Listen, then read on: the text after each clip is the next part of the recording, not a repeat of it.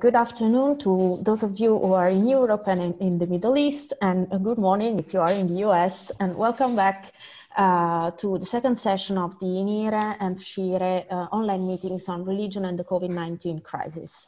Uh, as you can see from the screen, uh, this afternoon we will hear Christian, Jewish, and Muslim voices uh, reflecting on how different faiths responded uh, to the pandemic. Um, just a couple of things before we start and handing over to Professor Melloni, who will moderate the session uh, today.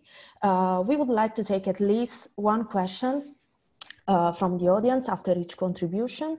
So as we uh, only have one hour and a half to spend together, I uh, would ask speakers to stick as much as possible to the timing, which is eight minutes for each contribution and uh, also ask participants to leave their questions in the chat and uh, raise their hands to ask for the floor. Um, uh, also, um, to avoid any difficulties and keep the discussion smooth, uh, I think it's best if I do not intervene on your mics today as I did yesterday. So please uh, mute yourselves and unmute your mics when, you, when it's your turn to speak. Thank you. Professor Melloni, the floor is yours. Good. Thank you very much. Welcome again. Uh, we are sorry to not welcome you in uh, Palermo, at least for this uh, year. Next year will come very soon, more or less one year, everybody says. And uh, we will see if it will be possible to meet in person in uh, a so uh, important context for multi-religious um, cohabitation in the Mediterranean Sea and in, and in the world. the purpose of uh, the present uh, uh, discussion is to try to see what is the reaction of different religious families to the COVID crisis. And we will have uh, a perspective from uh, Islamic uh, theology, from Jewish theology, and also a perspective on uh, philosophic uh, approach from a Western point of view and the Western uh, European uh, Christianity. Uh, I'm very grateful to the speakers who accepted to be here. and personally very grateful to Imam Yahya Pallavicini, Uh, who is a good uh, friend. He is the president uh, of uh, the organization of uh, Italian Muslim uh, faithful and also scholars.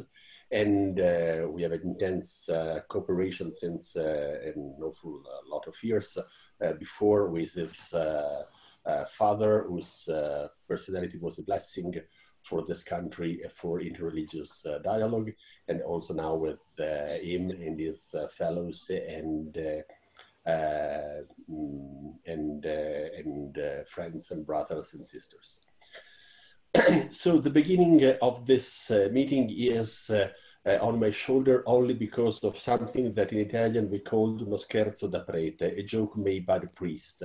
I don't know if there is something rabbinic that can be parallel, but I suppose this will, it must exist uh, one way or another.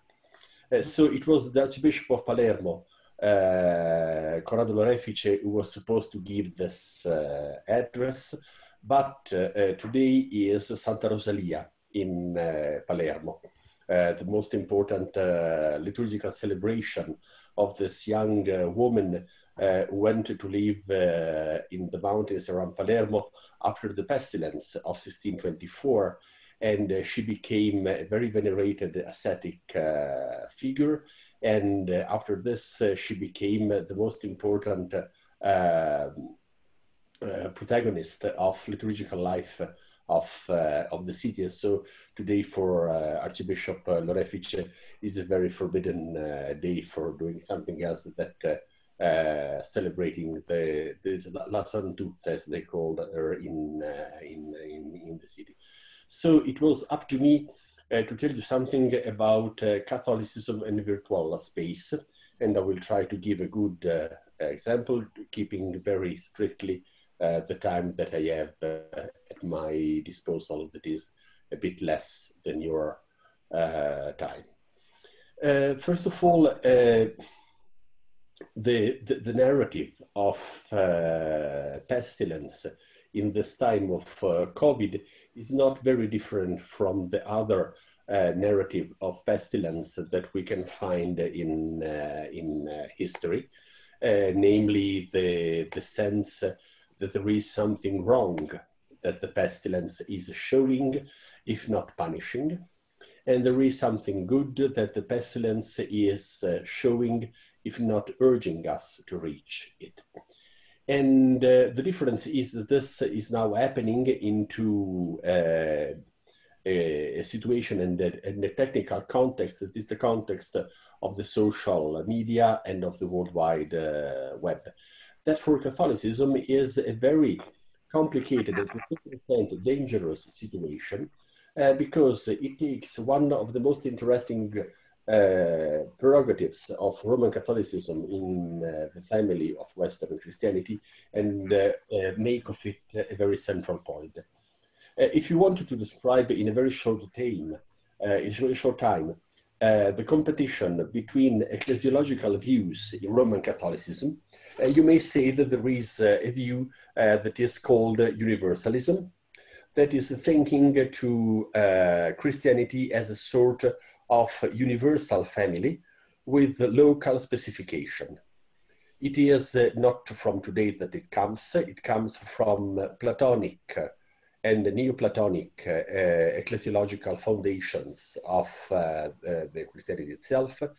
It comes from Philo of Alexandria, and from uh, a Jewish idea migrated into the Christian uh, theology, namely, as there is the increated Torah uh, beside God at the beginning of the worlds, uh, there is also the universal church that uh, God thought at the very beginning uh, of time and creation. And so, this idea of the universal church is there from the very beginning, and the local churches are only uh, the specification of uh, this universal uh, idea.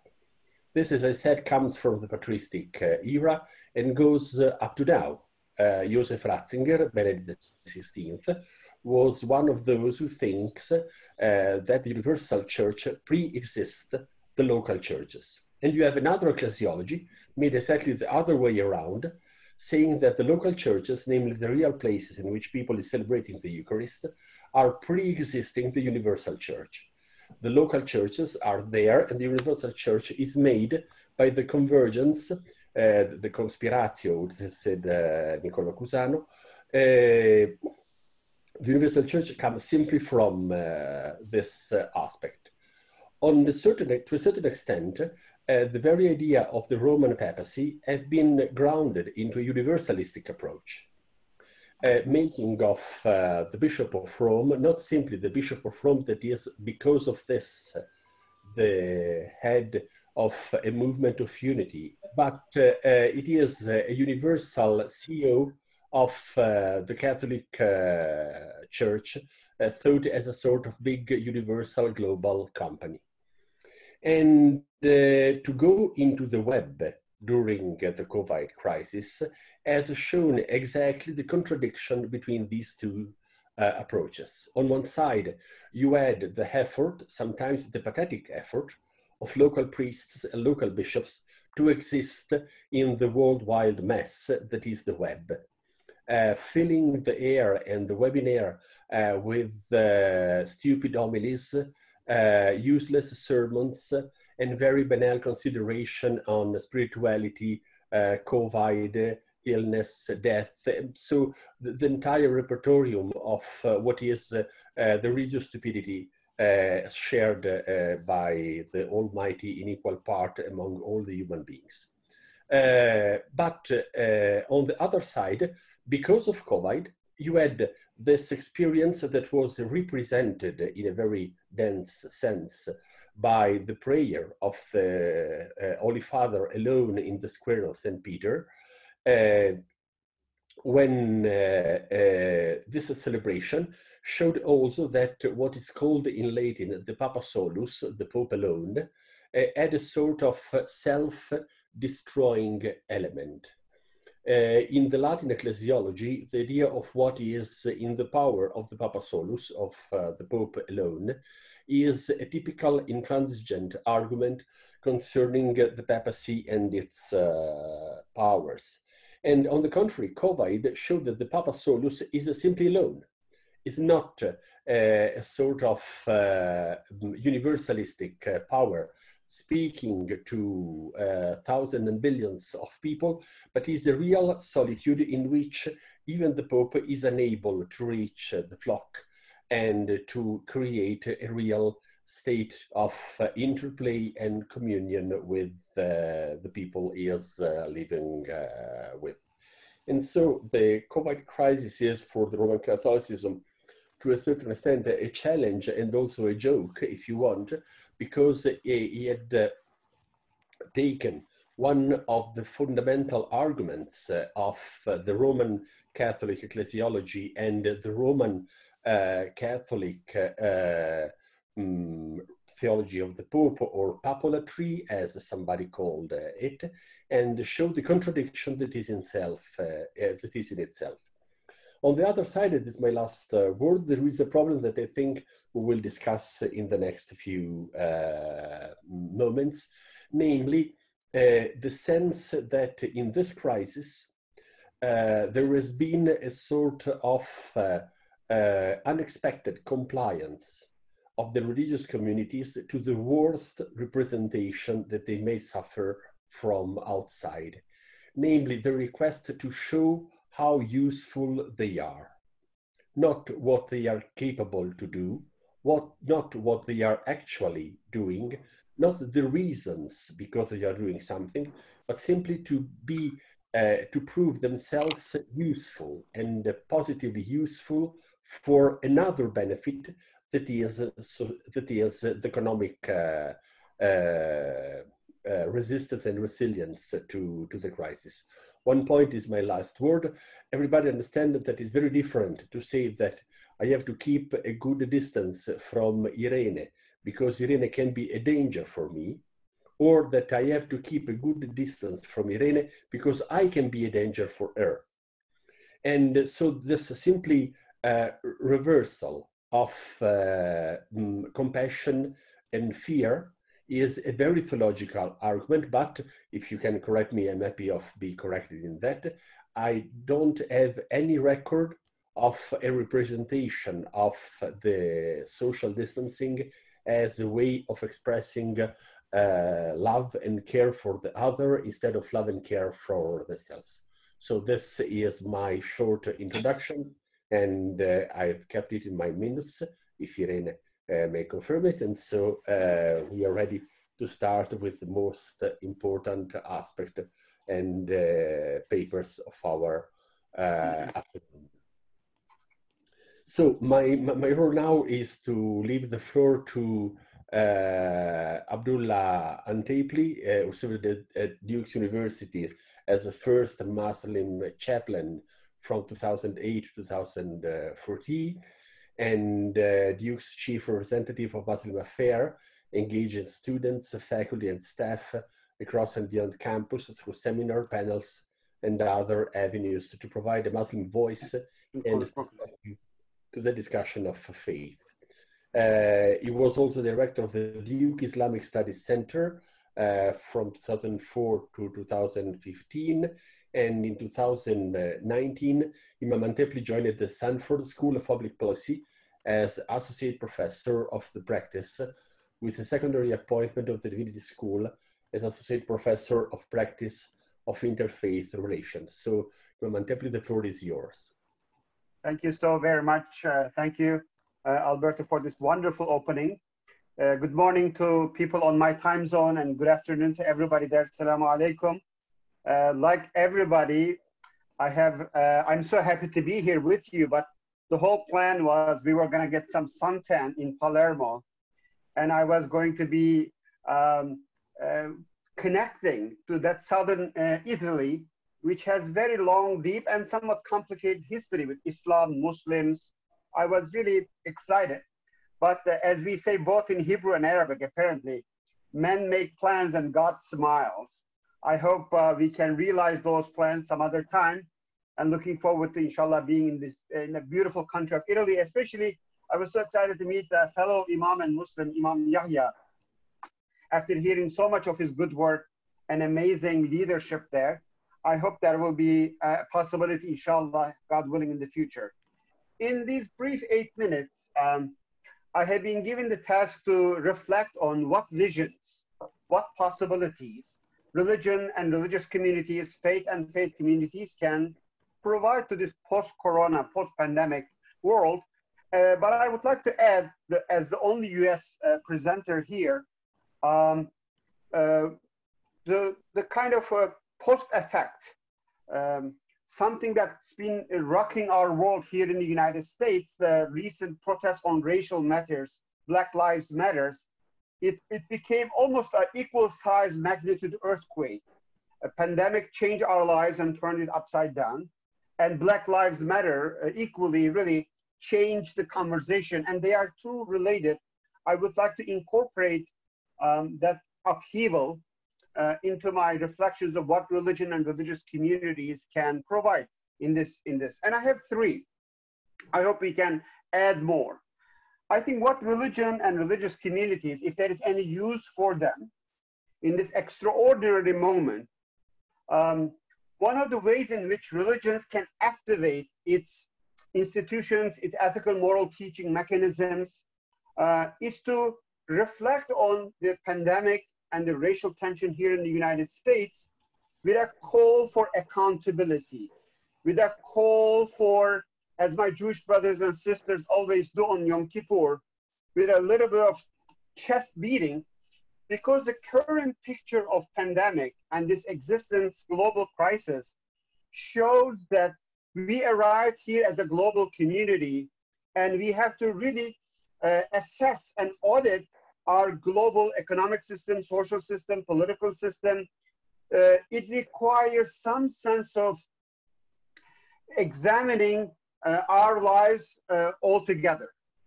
And religions are nothing but uh, aspire to be that source of uh, accountability, that voice of moral, that voice of reason, asking people to slow down and reflect and audit their lives, their individual lives, their collective lives.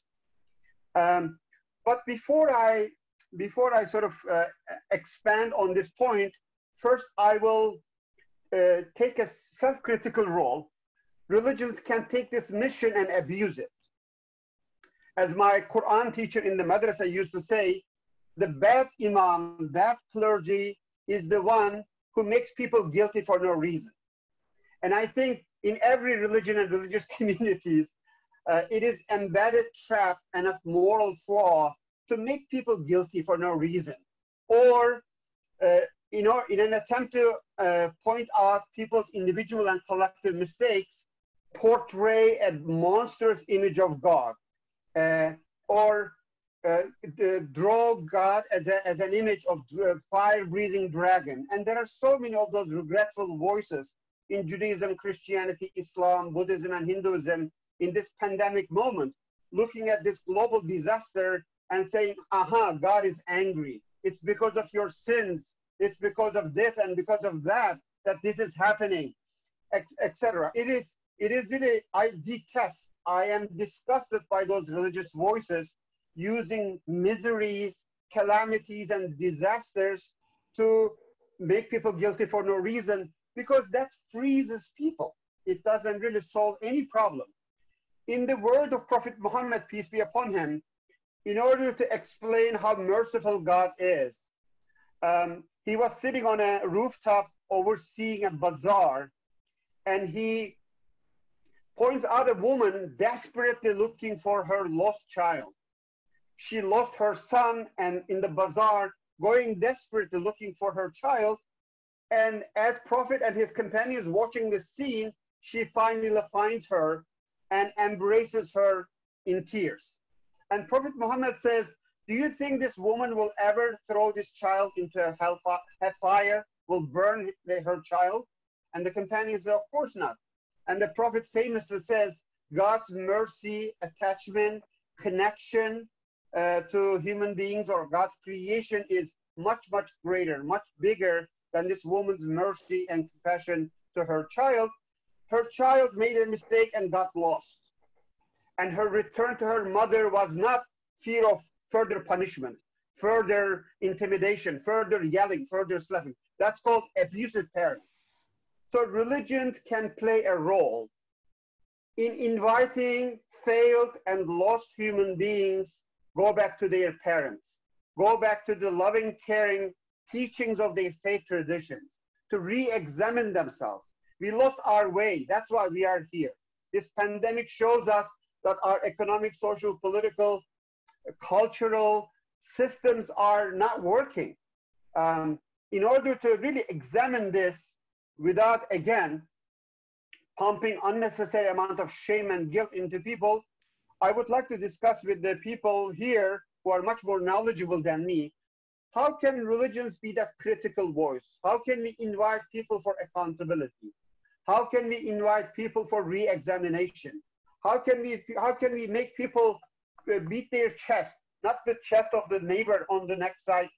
How can Jews can beat their own chest, not just beating the chest of the Jews, Christians and the Muslims? How can we create a religious language of examination? Accountability is one area. I believe when it's done well, religions can play a significant role in this. Secondly, and I think Black Lives Matter and the racial tension shows the, the pandemic and the crisis gives us an incredible opportunity, religious or not religious, to find out how to develop empathy. A famous a Sufi, Nasreddin Hoja of the Middle East, once he falls down from the roof,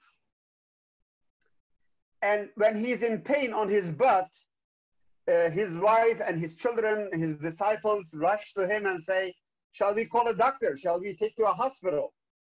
And he says no to all these uh, helps and says, Take me to people who fell down from the roof because the moral responsibility is when you hit with a calamity to develop an empathy and solidarity with people who have been going through these calamities and disasters over and over. Now you're experiencing this.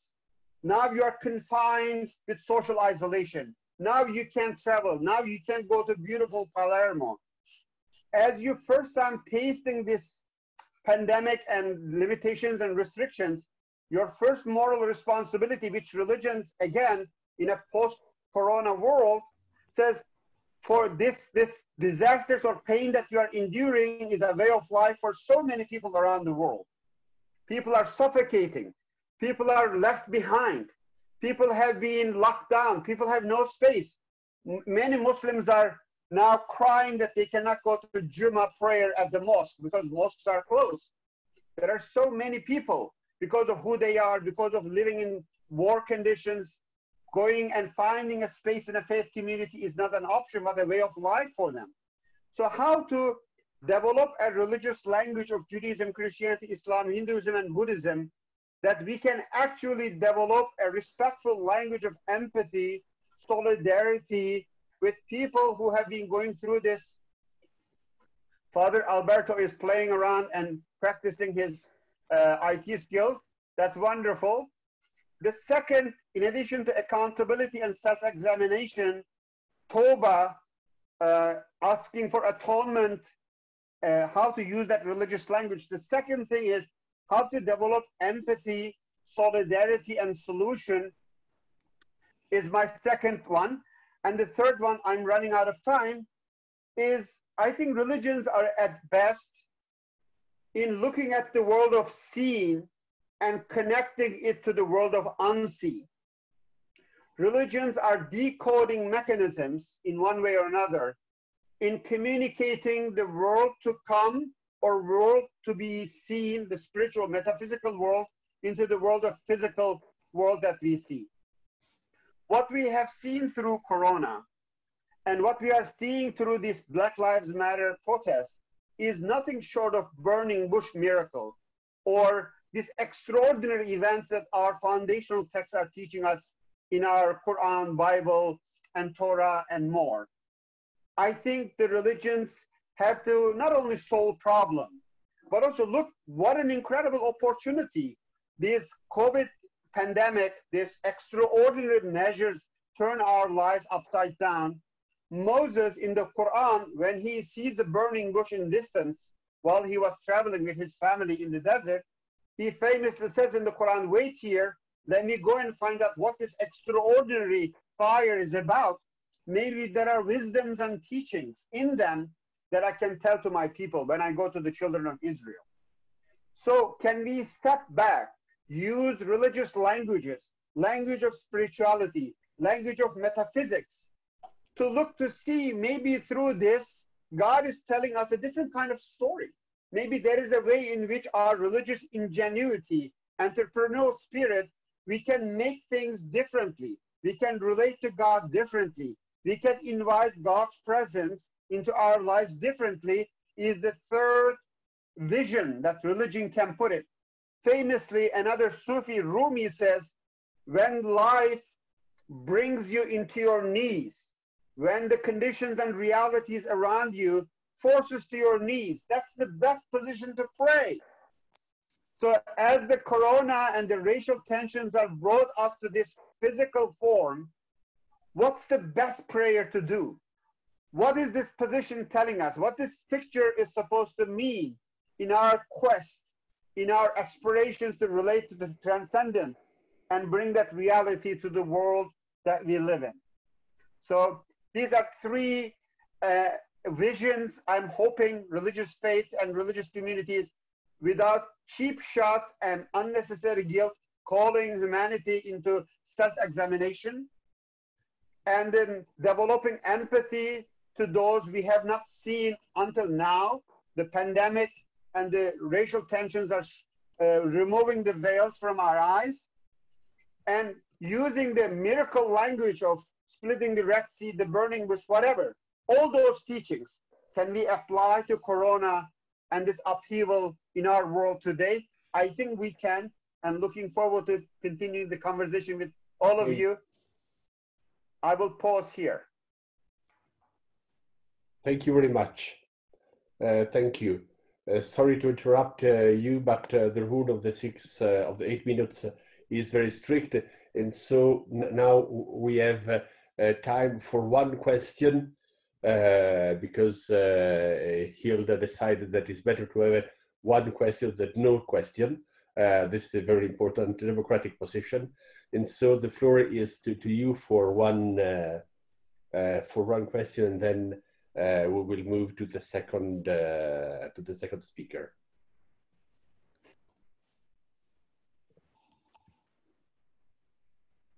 Hilda, please.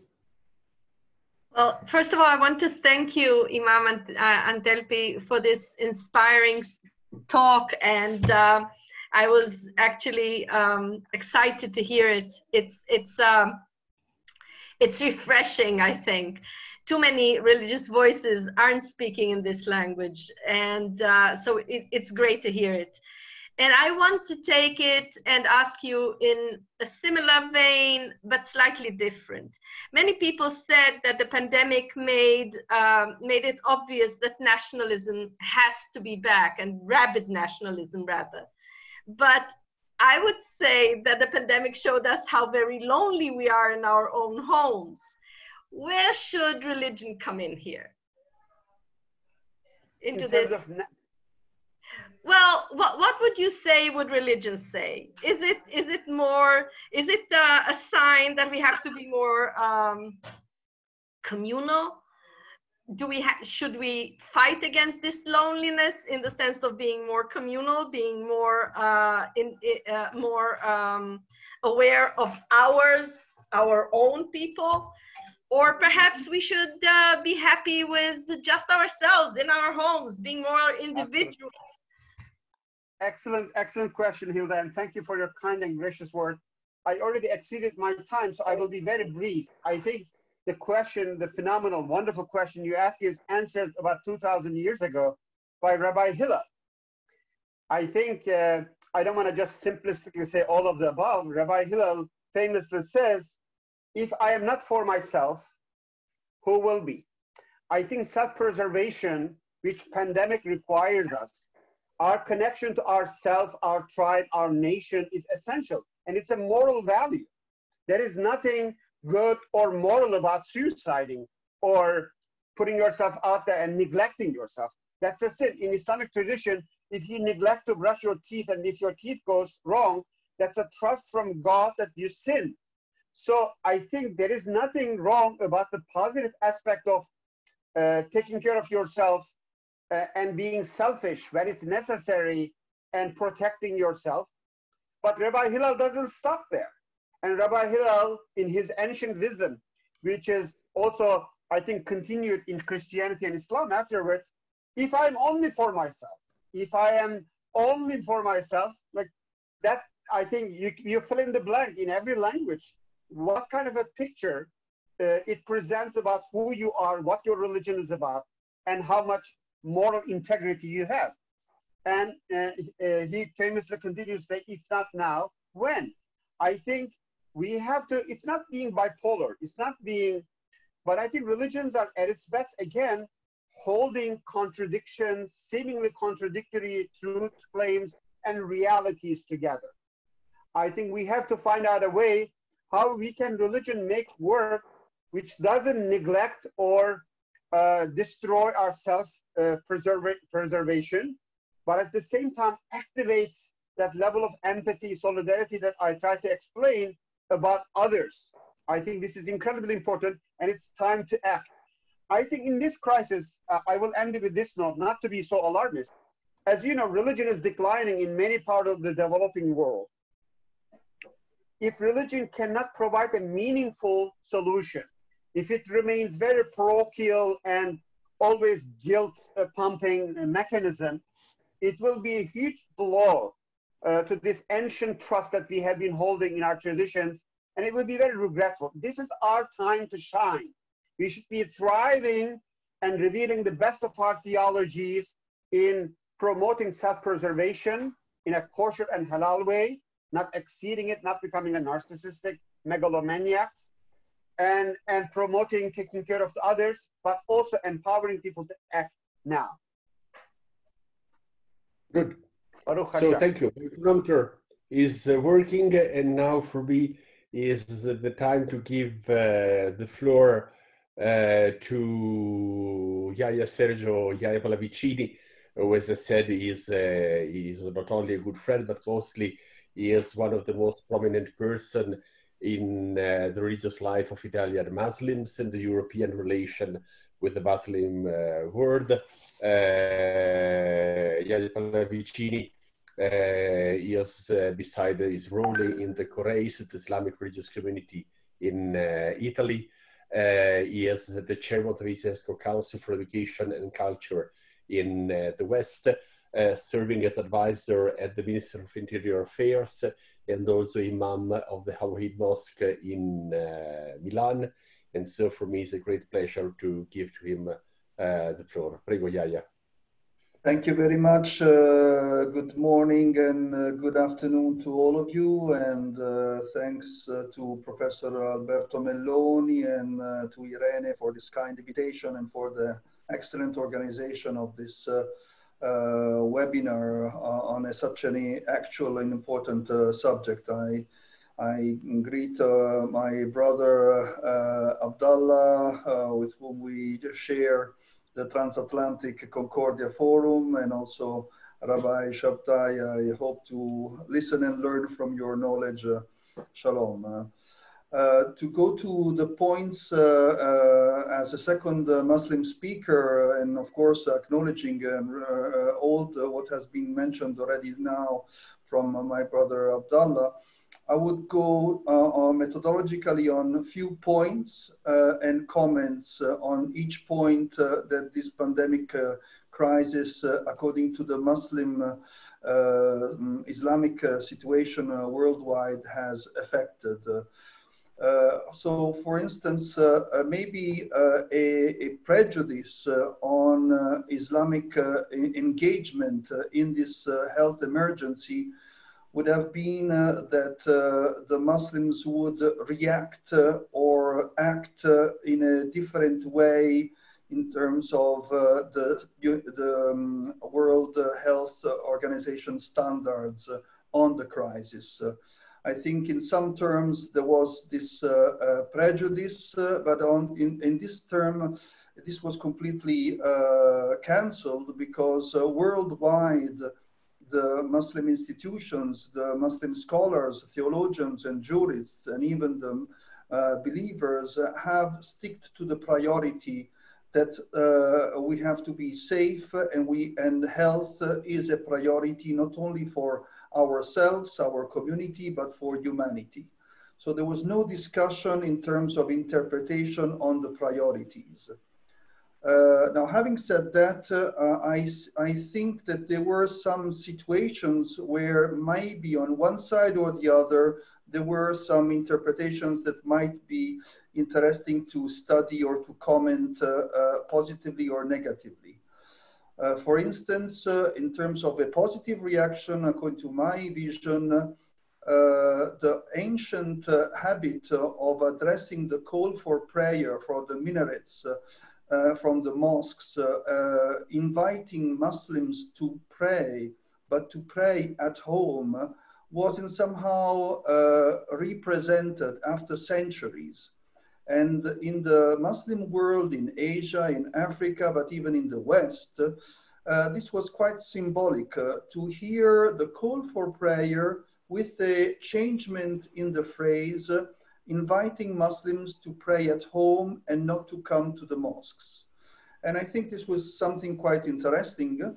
On the other side, if I may say, I was uh, asked by the Muslim World League to comment on the closing of uh, Mecca, the, which, as you know, is the spiritual center for Muslims worldwide, as a point of reference uh, symbolically for the prayer, for the five daily prayers for all Muslims, but also as a, as a place uh, to go at least once uh, uh, in your life for pilgrimage. And uh, I think that the uh, Saudi institutions were somehow uh, sensitive to have a worldwide consensus on this closing of Mecca to any kind of visits and, and pilgrims. For, of course, the priority once again of healthcare.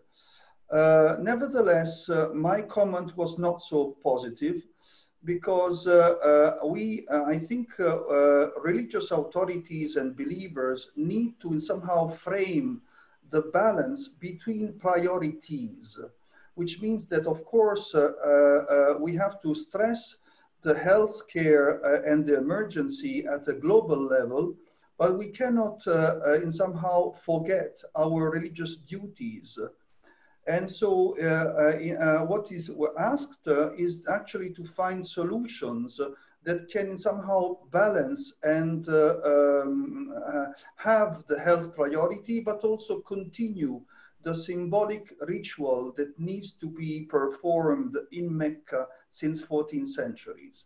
So it's, all, it's, also, it's also a question of wisdom and uh, practicality.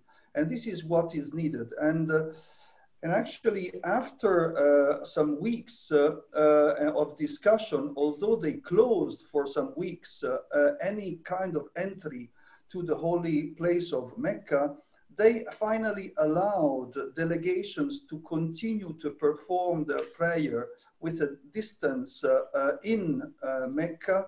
And so symbolically, this ritual has continued since then and is still going on now.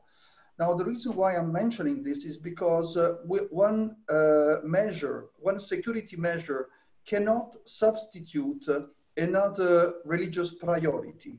We have to try to find, if I may uh, say, how to manage uh, our religious duties in the context of a new crisis or of health emergency.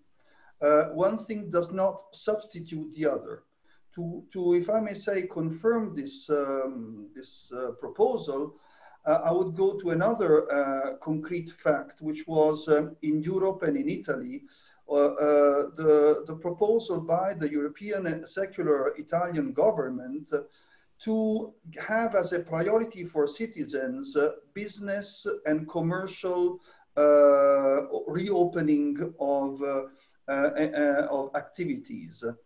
And uh, our position in Italy to, to the government and in Europe uh, was that uh, once again we have we cannot substitute the priority of business and commercial and trade in society and in institutional agendas neglecting the freedom of religion of the same citizens of any community.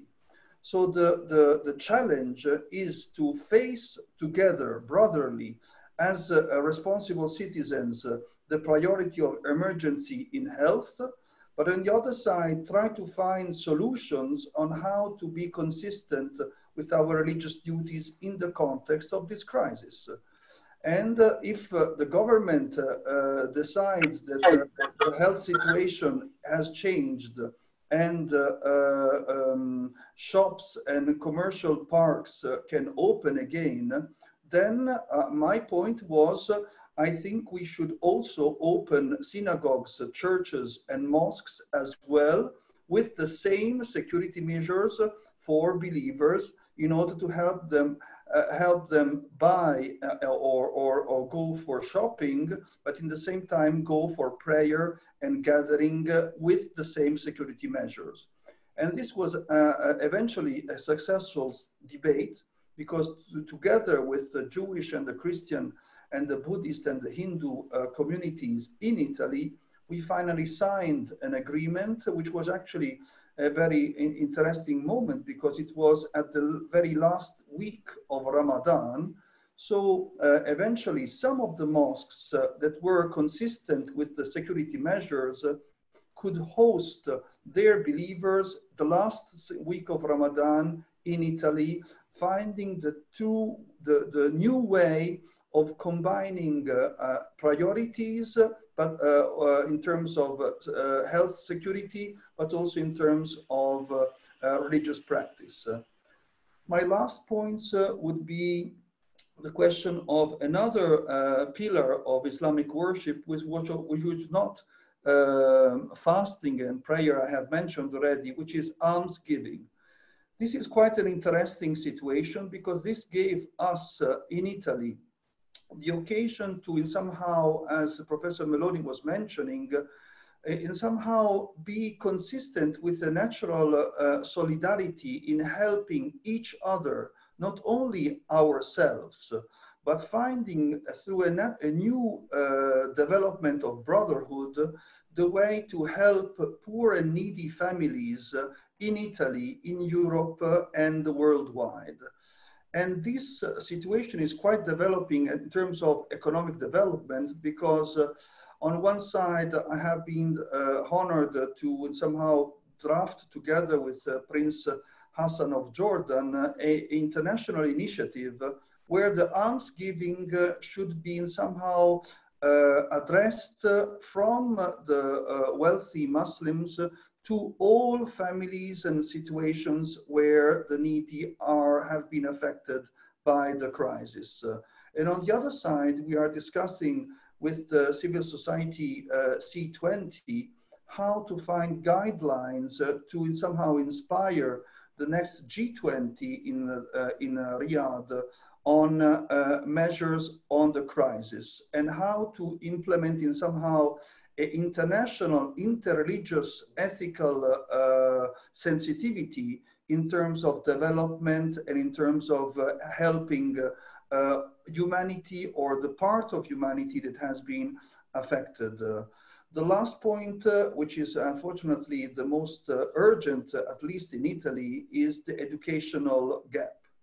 Because in some time, in somehow, these uh, distance online uh, uh, conferences and teachings uh, are helping practically uh, students and young persons in their homes, but the lack of a direct contact with teachers and the lack of skill and experience of some of the Muslim students in schools in Italy is actually creating an educational crisis because uh, uh, they have no, not, not, not the same level of language expertise.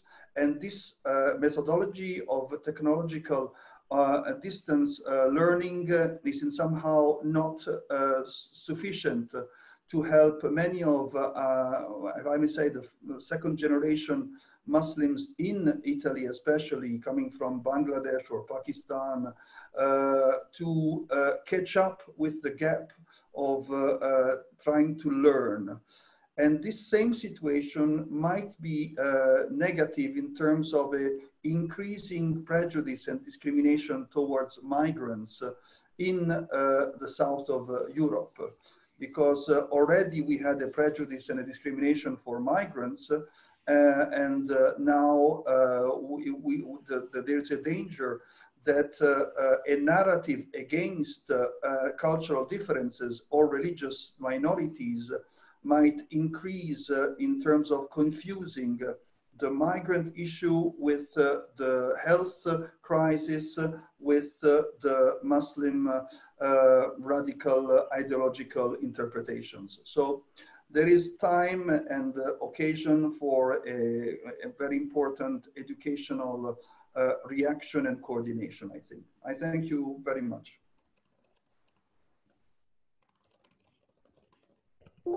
Thank you very much, uh, Yahya.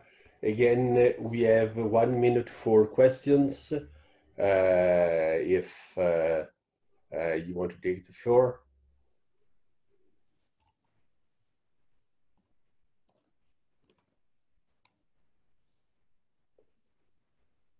So I will take only one one second. Oh no, there is in, in the in the chat that there is a question. Uh, yeah, if you look to the to the chat, uh, you will see the question from from uh, Abdeslam. Abdeslam Maghraoui, Professor Duke. I think Zohar Maor has requested. Uh, I don't know him. Uh, is that what you're mentioning?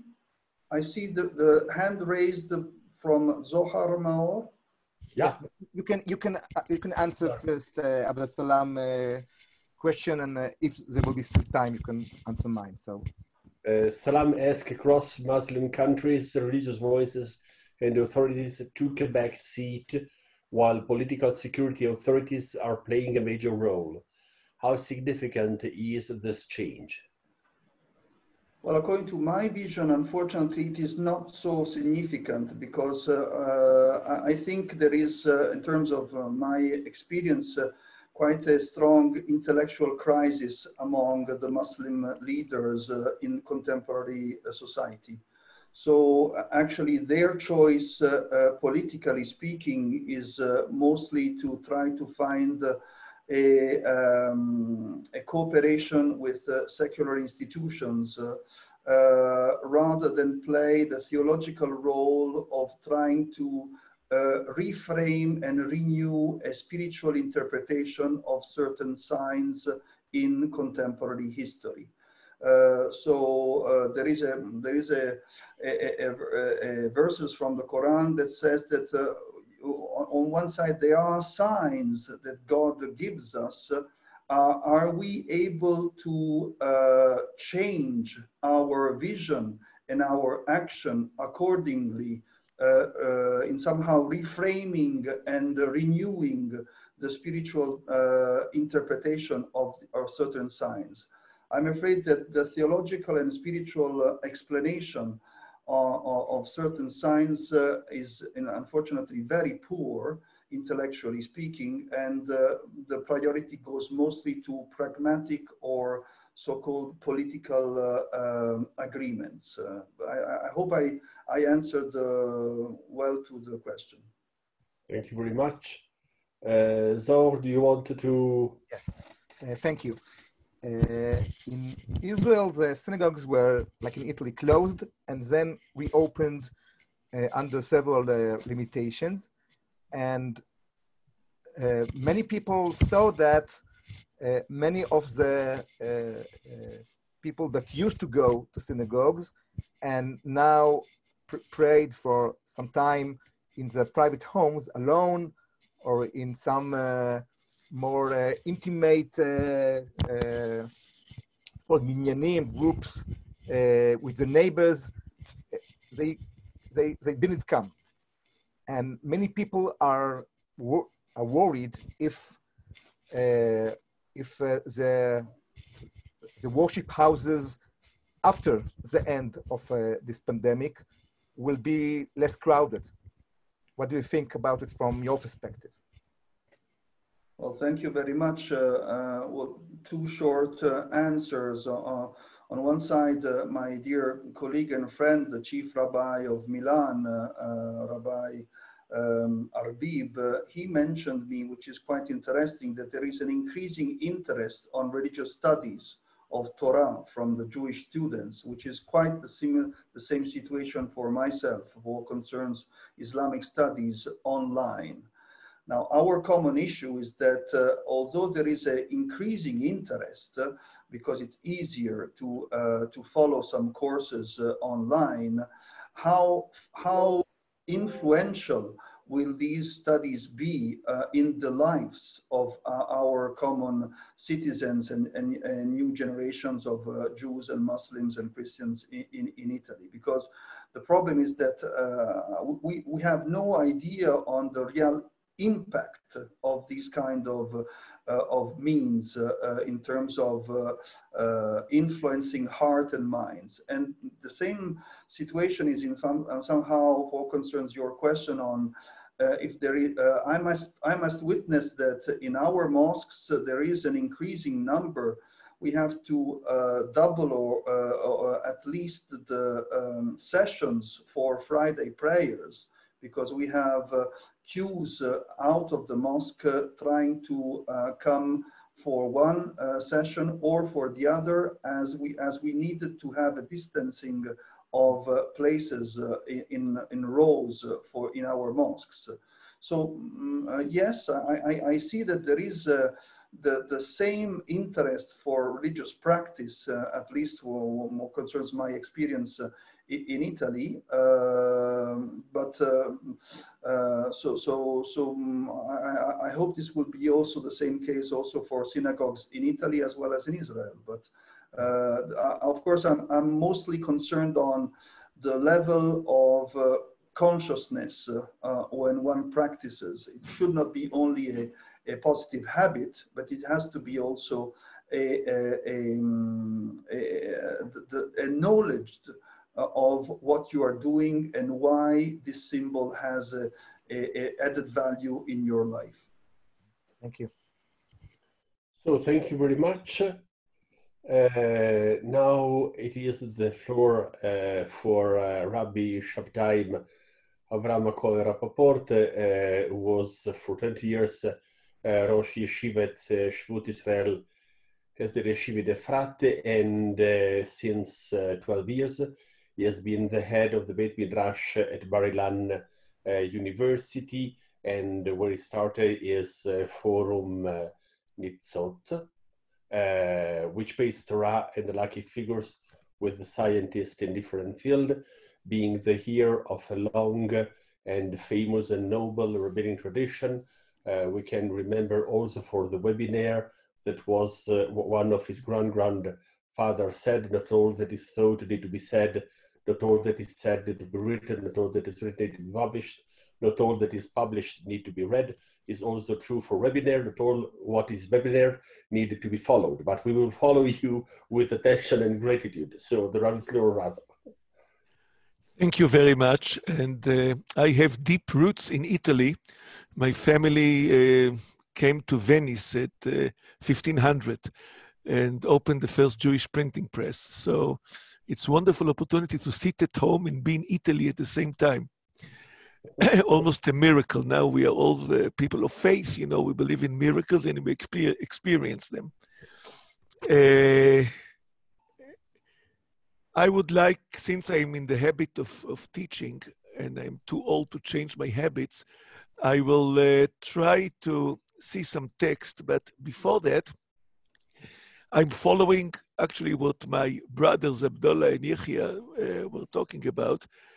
And actually, they touched on the points that I wanted to touch. And the thing is, the difference between faith and religion. Uh, organized religion has a problem with the corona, of course, and uh, spoke about it very well. the question is, uh, the faith question is the added value.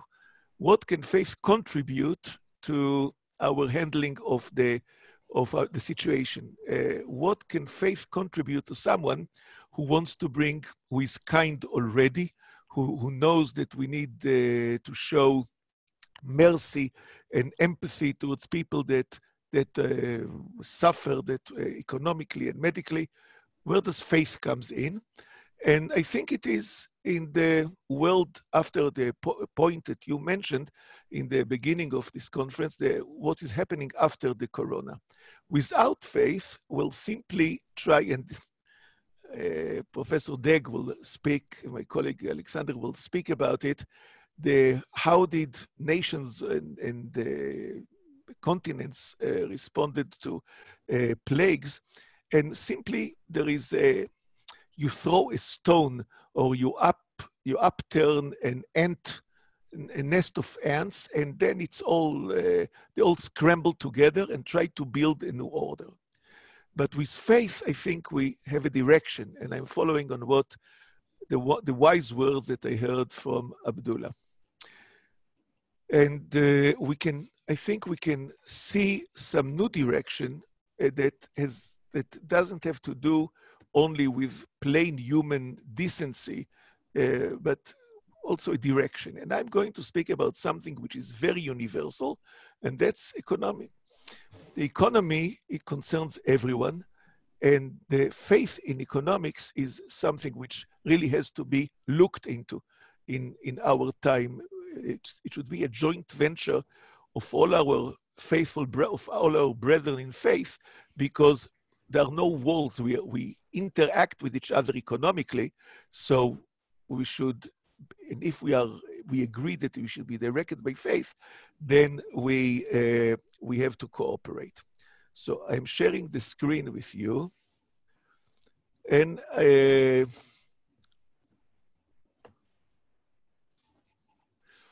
Uh, in Psalm, I'm some text from Psalms uh, 107. Give thanks to the Lord for His good; His mercy endures forever. Forever is a big word. Forever has no beginning and no end. His mercy is always. And then some that lost their way in the barren desert found no path toward the city to live in. They were hungry and thirsty. Their life was ebbing away. In their distress, they cried to the Lord who rescued them in their peril. Now, so I understand that Lord's mercy started at this point, but it was not forever. When they lost their way, there was no mercy of God. And you, Abdullah, I understood you, you were talking about the parable of uh, the prophet. I think that Lord's mercy starts here when people lost their way, because we are lost in the desert. We are really, everyone is lost in a desert. Everyone acts for himself. Egocentrism is a desert where you exist alone. There is nothing around you. You don't see the people. The people become transparent and you don't see them. You don't know that you are in a desert. So, how you'll get out from a desert that you are not aware of? It's so, Lord, in His mercy, makes you hungry and thirsty and you feel that your life is ebbing away, and then all of a sudden you open your eyes and you see that you are alone. It's terrible. You're in distress. You call to, you you uh, call to the Lord, and He guides them in a, by a direct path. That's it. This I think is the main point. When we have a crisis, it's to open our eyes. It serves to us to open our eyes. Now we all since we have um, our American colleagues here, of course, they heard of the um, foundation of Amer American thinking, capitalism, and, and, economics, Adam Smith, who said that a person should try to make the most profit, and but the hidden hand, he doesn't say God, the hidden hand will will make the cake bigger, and everyone's slice will be will be bigger. Everyone will profit from the from the endeavors to uh, uh, to, to uh, help yourself. For this, you need a stable legal system. If you want to have business, you need to know, it's very important that you know what is the outcome of, of a business connection. Now, the Talmud in Bava Metzia talks about uh, someone uh, in our day will say he uh, uh rented a store in a canyon, in a, in a shopping mall, and uh, there were no, he has to pay the monthly rent, and the store was empty because of the corona, because of the pandemic, and he cannot pay the rent. So the first case is that he is talking about grasshopper consumed it, but it's, it's the same idea. Now, if the store, uh, if he did not make money, it, he, he rented the store, it's a normal time, and no one put foot, set foot in the store, there was, for some reason, so he still has to pay the rent because the contract has to be, uh, uh, you have to uh, follow your word, you have to abide by your word and by, by, by the word is a contract and he has to be stable and the shopping mall has to counted when, when it was built, they counted on the rent. Without the rent, they'll collapse. There'll be a domino effect, a domino effect of collapsing. The, the mall owners will default to the bank. The bank will collapse. The economy will be hurt. So what do you do if it is not, if it is a regional a, a disaster, if it's a pandemic, if it is something that happens to everyone, which affected all the fields in the area, the cultivator subtracts from the produce he owes as part of his tenancy, meaning you have to, the contract is void and you have to come to some compromise. And this is something very interesting. The, the, even though basically the owner of the shopping mall who rented out the who rented out the stores has to get his money something happens that he has to understand that we are we are having a new game the pandemic is a game changer you have to look at it differently everyone has to put shol- his shoulder under the burden. It's not the burden of the person who, who rented the store. It's and it's not the burden of the of the shopping mall owner. It's it's a common burden. Maimonides in the guide to the perplexed talks about charity. The concept of charity of alms is appears is very central to uh, muslim christian jewish uh, religions but Maimonides says something very surprising. Alms or charity in Hebrew is called tzedakah but the root of tzedakah is tzedek, which is the justice. So, my, so here the translator had a problem that uh, to translate here tzedakah, he, he couldn't find the word, so he called this righteousness because he could not call it charity, because charity is like loving kindness. So he says, the Maimonides says that we have two kinds of justice justice, which is the law, when you have to abide by the contract, you have to pay. If you made a contract, you have to pay. And tzedakah, which is righteousness, it's, it's a bad translation, but uh, whatever it means, some kind of female, it's a female form of justice. It's a potential justice. It is it is actually has has mercy object uh, has elements of mercy, but it's going to become justice. Justice has to evolve. The concept of justice has to evolve. The Adam Smith idea and the idea to a stable uh, legal system, the blindness, the blind goddess of justice has to be blind and has to uh, abide by the law. This is this is a good beginning, but the game has to be it has to evolve, and you need you have to to understand that in economics, you cannot only think about yourself and about the stability of the system. The faith is the Lord who, the Lord who, who, who, uh, who uh, uh, commands the world takes you out of the desert by first showing you that you are in the desert. By thinking about yourself and thinking of a stable legal system, about the blind goddess of law, you are in of justice, you are really in a desert.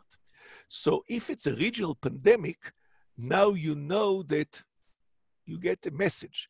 The message is you connect with God and you get a message. The message is the game has to change. No blind goddess of justice. You have to open your eyes, and you and the law says that you have to compromise.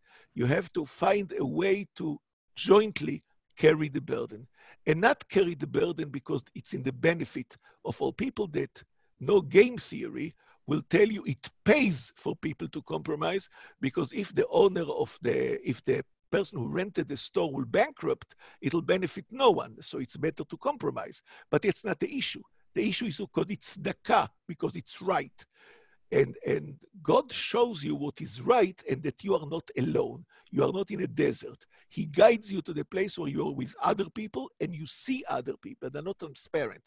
Their, their uh, anxiety and their problems, are, you see them and you don't just give charity in order because you are rich and you have want to have a contract with God like Job did. As long as he gives charity, he's safe. He, he pays he pays his dues in order to be safe. That's nothing. The end of Job will, will show that.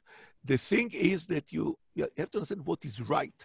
And the right thing is to put your shoulder under the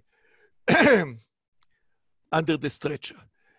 Uh, and then when all shoulders are under the stretcher, the stretcher could be borne. But this is not the idea. The idea is because it's a game changer and society has to change.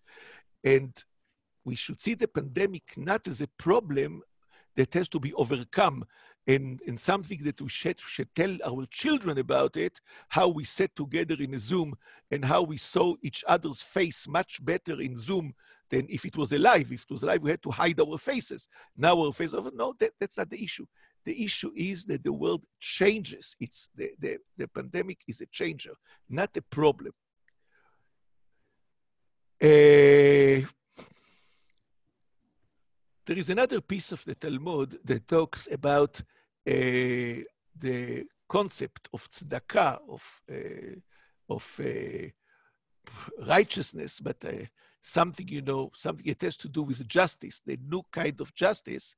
If a person, it's, it's taken from a, from a verse in Nahum, uh, the first chapter of Nahum, if a person sees that his sustenance is limited, he should use it for charity. And all the more so when it's plentiful. And then the, the Talmud brings a parable. The parable is that of a, two sheep that were, that were passing through the river. One sheep was shorn and one sheep was loaded with wool. And they were passing through a river. The sheep that is uh, loaded with wool will drown because the, the wool absorbs the water. The sheep that is shorn will, will go through the river. So if you are, you, if we pass through a river, we should not try to adhere to our wool. Oh, our wool is the most important thing. In time of problem, we should maintain our wool. No one should touch it. This is our main concern. We have an economic problem. There is a problem. So first of all, we come first, and we should keep our like like. Uh, uh, we should we should keep our nuts and our cheese and not let anyone touch it. This is not the idea. The idea is that if we are shown, if you experience tzedakah, if you can change our thinking, if we see other people, and if we not, we don't contribute alms in order to be to be okay with God, but uh, we really know that we the, the sharing of the burden is a way to understand each other, to see their faces, to see their anxiety, to, to feel for them, then we, be, we all became better people. And then we are a shorn uh, sheep that doesn't care for its wool. It contributed its wool for the common good, but it's, it's a sheep that could go through the river unharmed. Uh, I think this is in economics, the, uh, everything is good in the world of people tell me, you know, if you ask me for, for charity, I'll give you, but I will not have you cheat me out of my, of my money. If a business person will tell you, I, I can give charity as much as you ask me, but don't try to mispresent the facts and try to cheat me maybe in business. The, the thing is that economics has to, people see it as something very stable. And when it destabilizes, they try to make it again, bring it again to what it was so we can continue functioning. I think that the main challenge of, of people of faith is to try to move, to push it. If it's a rock that is, if we could see economics like a rock that is uh, not stable because it was, uh, it has a, a it has a balance, it's not very balanced. So we should not keep it in place with the people of faith who stand together in one side and push it down the hill and get rid of this rock. We need something, we need the grass under the rock and not the rock.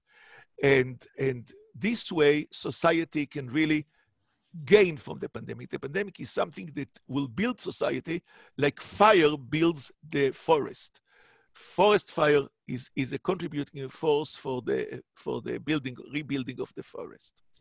So this is a tremendous challenge. It's a wonderful thing to have you here and listen to you. And thank you for the privilege uh, of, of being able to address you. Thank you. Thank you very much. Thank you very much. Uh, so now uh, the floor is to Professor Alexander Deeg.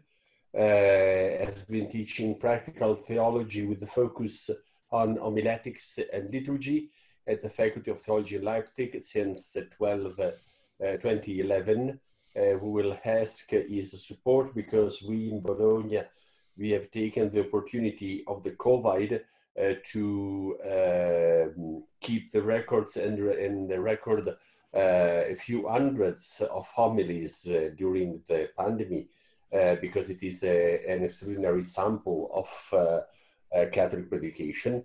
Professor Deeg, after studying Protestant theology and Jewish studies in Erlangen and Jerusalem, was vicar of the Evangelical Lutheran Church in Bavaria and was ordained pastor in uh, the beginning of this century.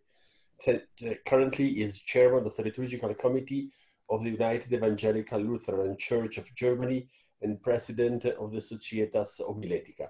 So Professor Deeg, the floor is yours. Thank you very much, dear colleague Melloni. Thanks to all of you for inviting me here and for sharing this time together.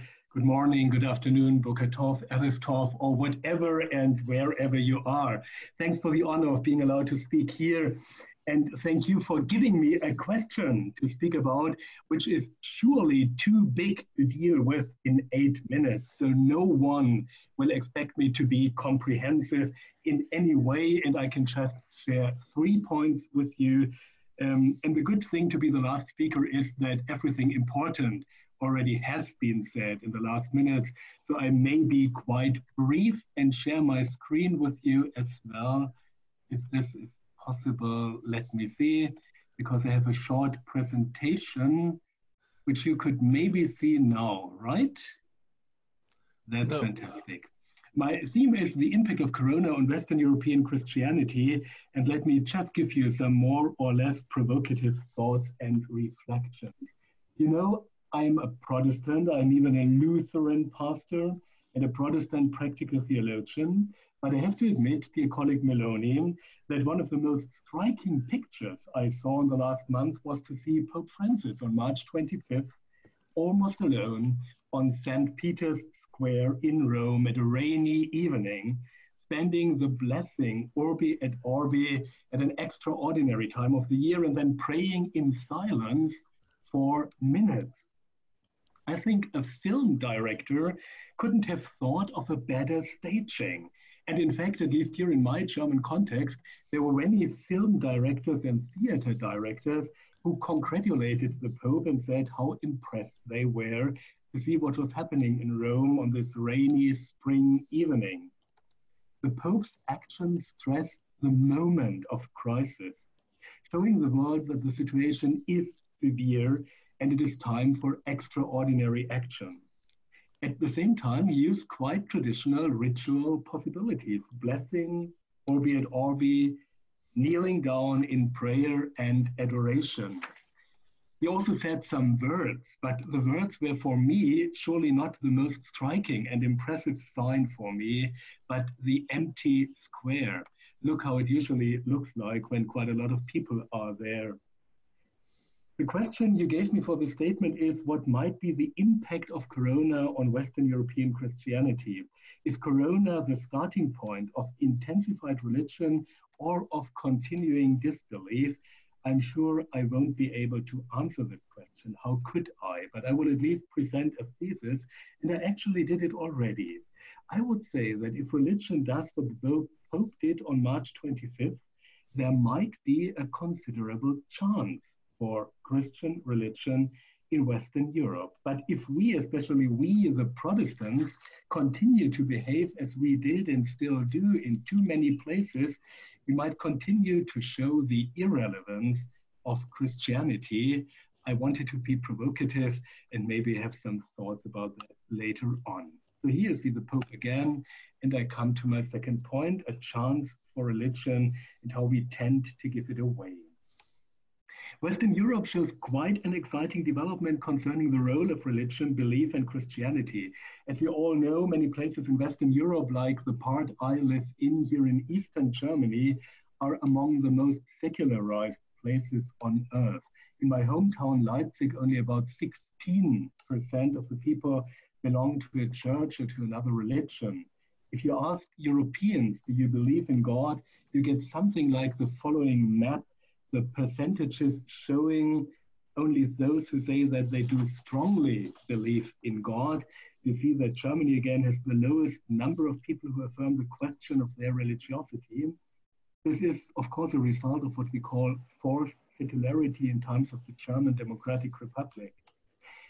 And still, it is a typical development in Western and Northern European countries. But on the other hand, if you ask people if they are Christians or feel as Christians, you get the following map, which is totally different. Suddenly, you have more than 70% of people in Germany who say that they feel and see themselves as Christian, Christians, 80% in Italy. Of course, this map shows quite a problematic aspect, as many people would say that they see themselves as Christians in order to say that they do not see themselves as Muslim. Especially right wing parties try to work on some kind of political and social European identity using the term of the Christian Abendland, the Christian Occident. This is a problem which has to be discussed, but I can't stress it at the moment. What I see here for me now is that there may be a chance for religion in Europe. Most people, even in former German Democratic Republic, are not strict atheists. A lot of people like Christian churches in their cities or villages, appreciate Christian heritage, love Johann Sebastian Bach in my hometown of Leipzig, and see themselves as something like Christians. But what many people lost is their faith in God. Canadian sociologist Charles Taylor, in his monumental work, A Secular Age, I'm sure you all read this wonderful book, would say, well, this is not astonishing at all. He tells the story of modernity and its development and in, on more than 1,000 pages in the German translation. And I just pick out one of his insights, the differentiation of a porous self, which was characteristic in pre-modern times, and a buffered self in modernity. When you live your life as a porous self, you're open and feel open to your environment the aspects you see and many aspects you do not see. You sense that you are a part of creation, dependent on weather and the fertility of the soil. You know that you are vulnerable in many, many ways. Diseases may strike you from time to time, even an epidemic may come. In these times you know, of a porous self, it was absolutely self evident for people that there are ghosts and demons, angels and spirits, and maybe also God who holds everything in his hands. The way to, to modernity, according to Taylor, was a way from the porous self to the buffered self. The Cartesian I became predominant in modern thought. People were less and less affected by the outside world. We have central heating in winter and air conditioning in summer, enough to eat, and medicine is at a level that individual risks, of course, remain. But there is usually no danger of a virus killing thousands and thousands of people all over the world. Vulnerability in modernity is radically limited. And the idea that there is something outside affecting you is not the usual way of perceiving yourself. So this is what Charles Taylor said already some time ago. Corona, I would say, makes us feel vulnerable again. There is something outside, something you cannot see, which is radically dangerous and which transforms our lives. In this newly felt vulnerability, some people just want to get back to their normality, to their normal life before the crisis. And Rav Shabtai already said the most important words about this. I don't know if this is really a chance for religion, but what I see is that people start to ask questions again. And I'm sure that oh our world after the pandemic, if there is a time after the pandemic, will be a radically different world. There are questions, and I'm quite sure that some Christians in my context give the wrong answers or give answers too fast. This was, what Imam Antepli already said in the very beginning. There are people who instrumentalize and functionalize the crisis because they know too fast what this crisis wants to tell us, and they only instrumentalize it in order to show their own ideas. This is problematic, but there is one other problematic thing. Especially in my Protestant tradition, I think we are too fast with words, we are somehow too noisy. The Protestants are sometimes called the church of the word, but we are again and again the church of too many words. In March 2020, there was this disruptive transformation happening to our Sunday services. We were suddenly in the internet, and this is a great thing. But my impression was many pastors said too much, made too many words, and what they said could easily be expected. They wanted to be helpful, to comfort people, to strengthen confidence. And this is not bad, but it may have been too fast. You already know what a pastor says before he or she opens his mouth. In one of the first analyses of the crisis, Matthias Horx said, It is astonishing that God and religions, in their well known and institutionalized form, almost do not play a role in this crisis. The churches are empty because they have to be empty, but also the sermons in the internet sound empty in a strange and particular way. When churches only say what you can expect already, when they want to be helpful, they may offer a God who is cheap and some kind of comfort which is cheap and empty. So I'm not sure if the pandemic will really be a chance for religion, but I'm quite sure that we should do three things to gain credibility and I just name them now and don't say too much about it. First, this is what many of you already said, practical work. Churches should continue to engage in practical work and practical help, not in words alone. This is a famous picture showing Martin Luther in 1527 when he was among the, the victims of the plague epidemic in Wittenberg. Luther could have left the city, but he stayed there. He wanted to be close to those who might need him. And this is what we should also do. My second point in my view, a crisis like this is not a time for easy answers, but maybe a time to lament too many Christians forget that this lament is a traditional and immensely powerful way of prayer. Lament means that you do not have to have answers, but can address God with all your open questions. If people felt that we are not the agency of quick meaning making and quick comfort, but that we are people who fight with God, suffer with God, ask questions, this could be quite helpful. And third, I think we should ask these questions together with people who lost their confidence and faith in God long ago. In our secularized world, this is the majority. To listen and to be open again. We as a church do not have God and just distribute Him. No one has God, but we are searching again and again. I started with the Pope. Let me end with the rabbi of my hometown, with Rav Zsolt Balla in Leipzig. He became quite famous in times of crisis, not because of intelligent sermons, but just because he did what he always does. He prayed.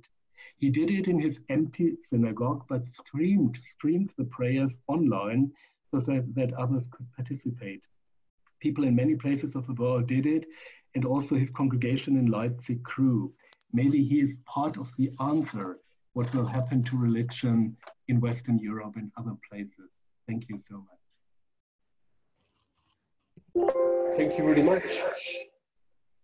So we have now time for uh, the question both for uh, Rav Shabtai Rappaport, for Professor uh, Deeg. Uh, Yahya Pallavicini was raising a question, uh, not so provocative.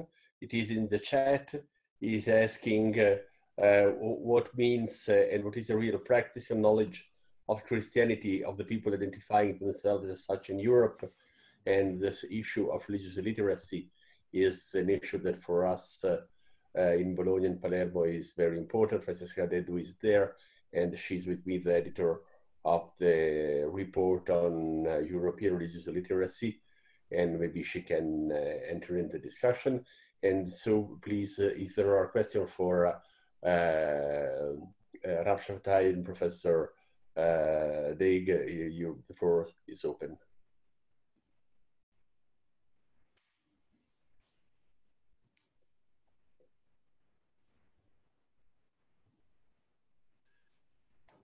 Hilda is asking? The, no? the, I think that most people in Europe, uh, Jews, Christians alike, not Muslims, but Jews and Christians know very little about the religion. And religion plays a smaller and smaller role in their life uh, until, until the pandemic. This is what happened. Fewer and fewer Jews belong to organized religion uh, communities, religious communities, and I think the same thing applies to uh, Christian communities. Once uh, Alexander and I tried to make a joint project researching that, the sociology of the of this phenomenon. Uh, however, this is all good. The, the, I think I, I believe again that whatever the, whatever direction uh, God directs the world, it's a good direction. When people know about something and they practice religion and they are very rooted in religion, you cannot change them. They are rooted and they're unchangeable the, the way to change is through ignorance. You have to pass a phase, a phase of ignorance, and then you can you can build something new. The same, it's the same like the pandemic. It's a sort of an ignorance pand pandemic that takes much longer. And Alexander wondered whether will be the world after the corona. I don't know if there will be a world after the uh, disregard of religion or uh, uh, not, not practicing religion.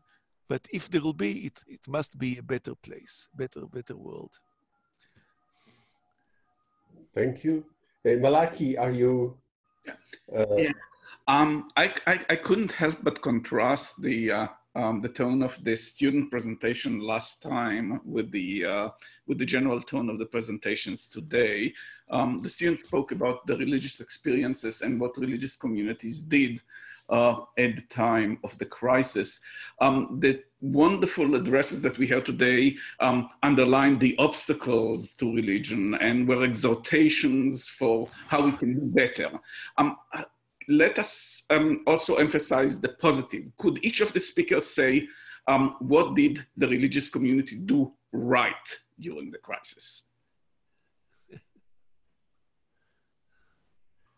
Yes. Alexander. Yeah, let me just say one word, Malachi.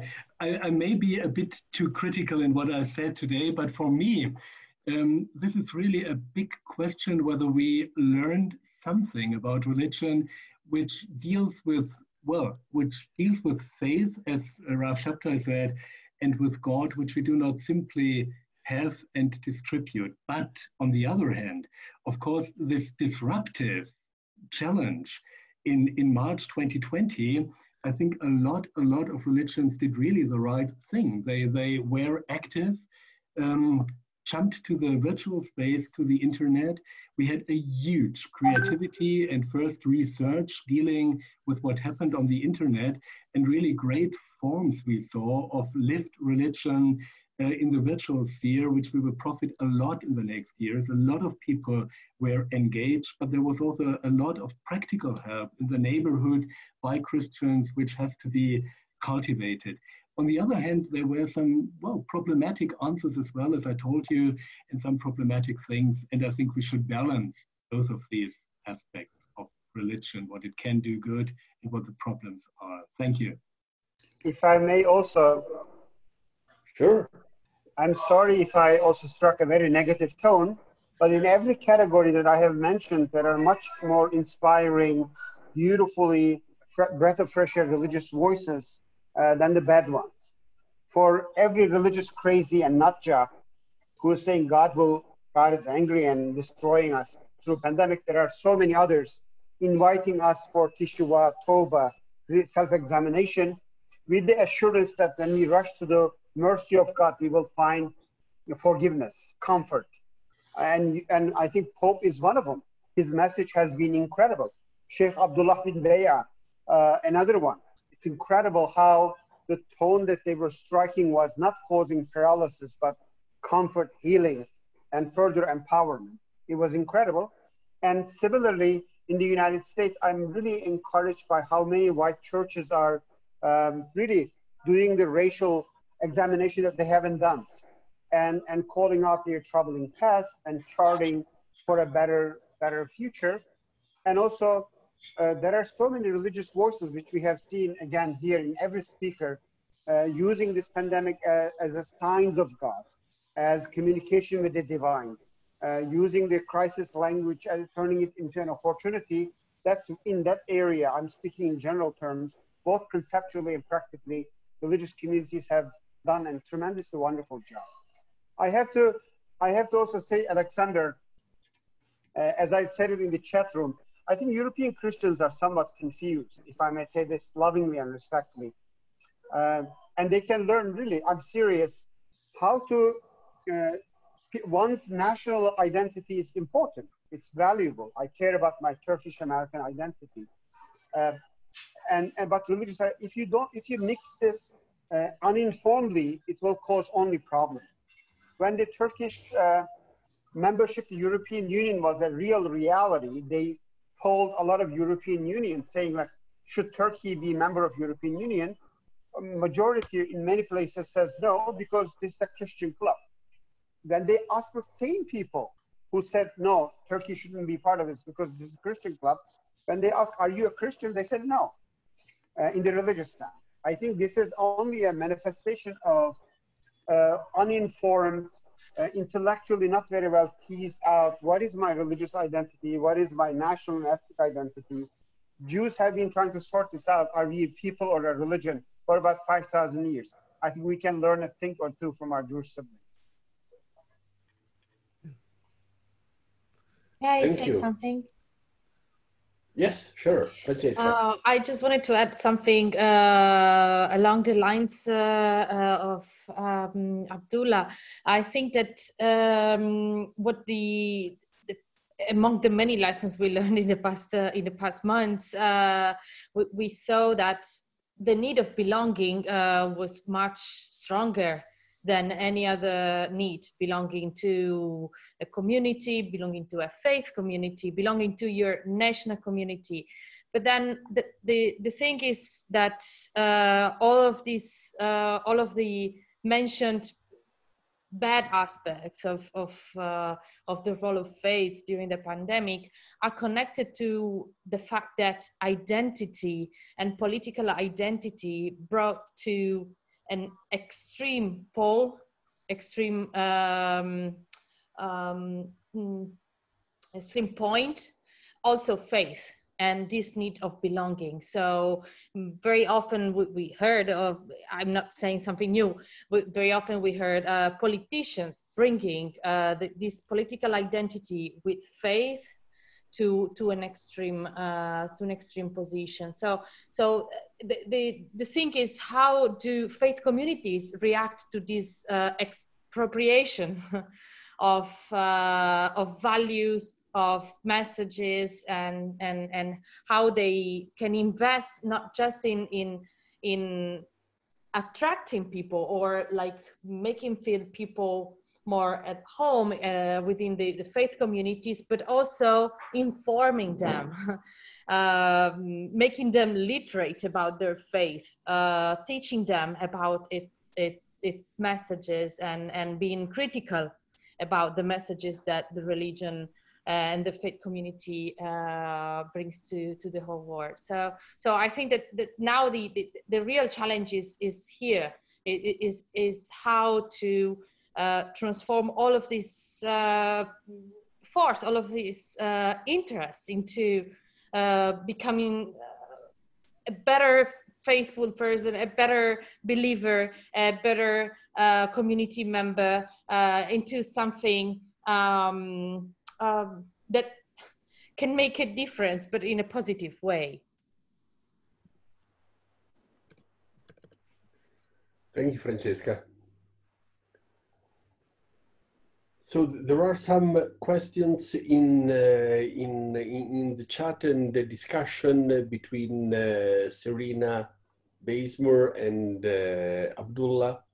And uh, still the question of Yahya is, uh, uh, is there.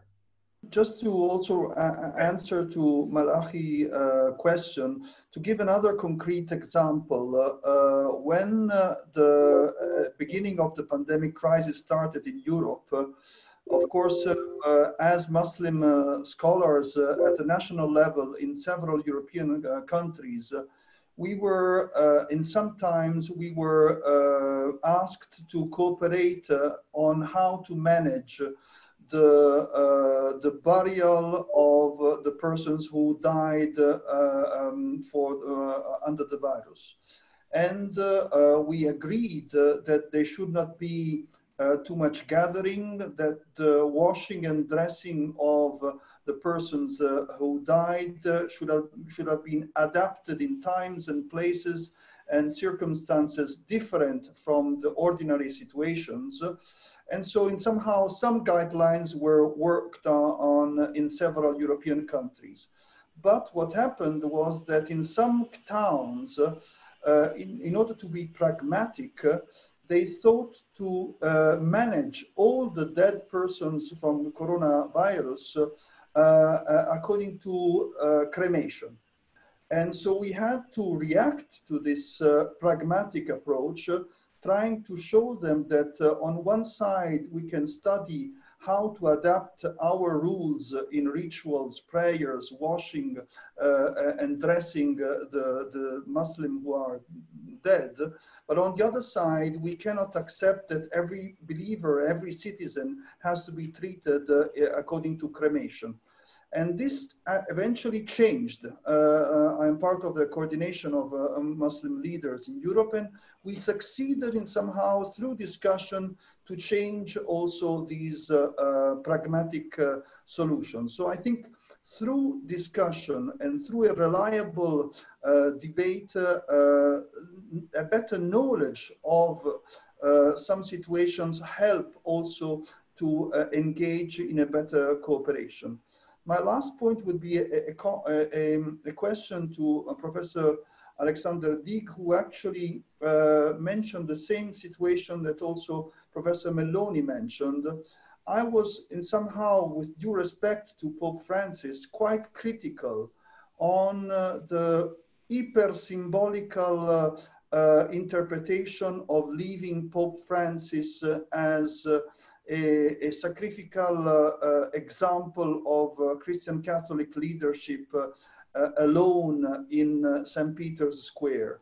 And uh, my uh, uh, public comment was that I think that it would have been a better, maybe less successful image to have also a delegation of nuns, priests, and believers in St. Peter's Square with, the, uh, with a security distance, uh, but at, at, least symbolically representing uh, the dialogue between the Pope and the Christian believers in this situation.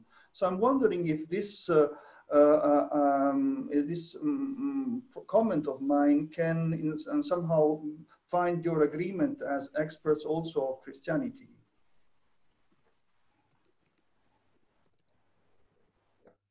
May I just say one word? Thank you, uh, yeah. thank you very much for this comment. I think it's it's really helpful to hear that, and uh, reflecting the situation end of March again. I would say you are absolutely right. And for me as a Protestant, um, to represent church only in one person standing there alone is, of course, not a very good possibility.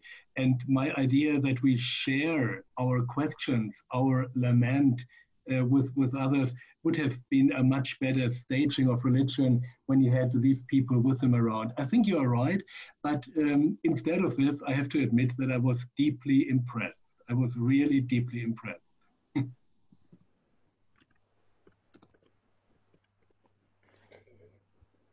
Thank you. uh, well, uh, I think we have uh, at least uh, exploited properly our time.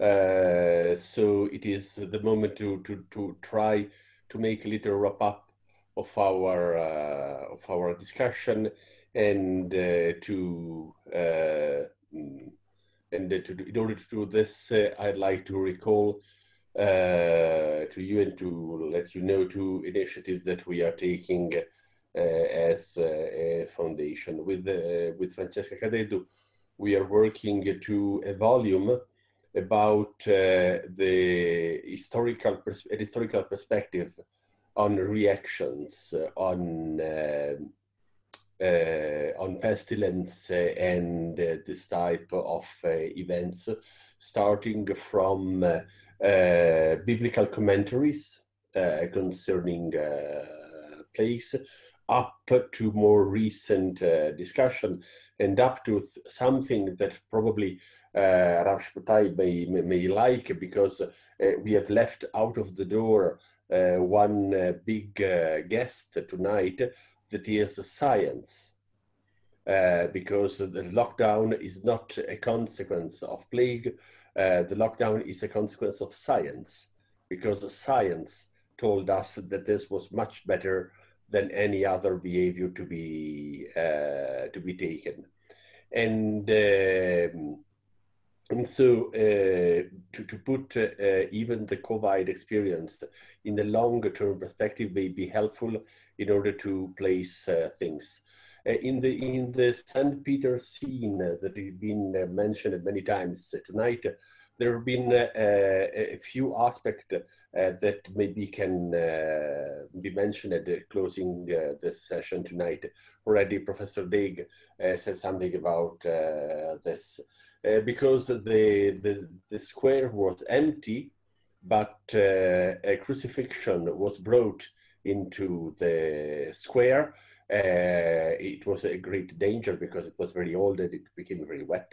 And, uh, and it is uh, the crucifixion of San Marcello uh, that has been taken into uh, the city in the last plague of the 16th century as a miracle um, asking the miracle of the deliverer of the plague, and with patience, uh, the miracle came and the plague uh, ended at least uh, a while.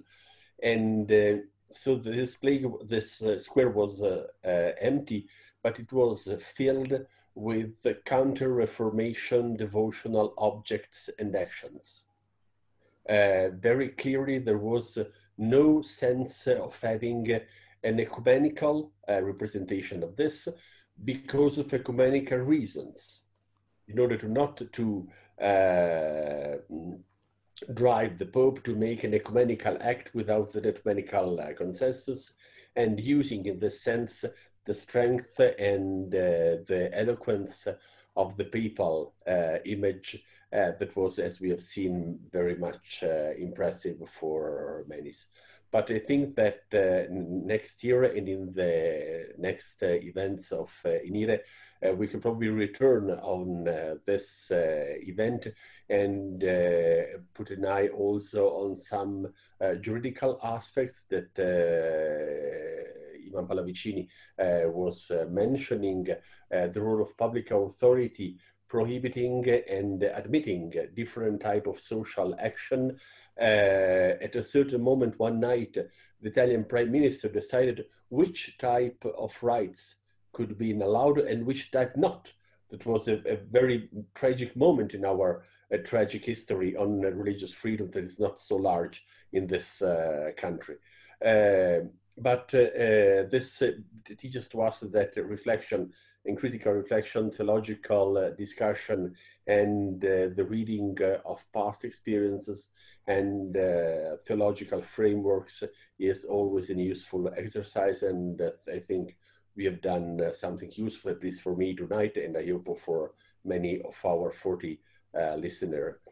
so, um, as one of my friend of an Italian Jewish journal says, offline tov to everybody.